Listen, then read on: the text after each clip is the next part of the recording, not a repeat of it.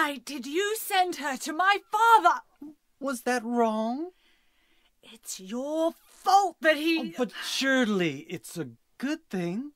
Uh, it means he was one of God's beloved, no?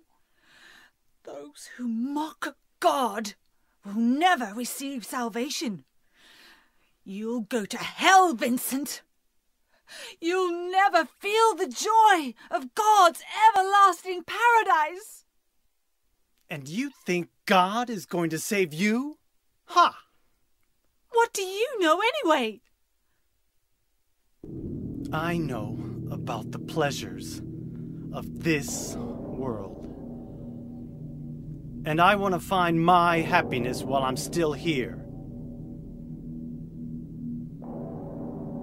You hated your father, didn't you?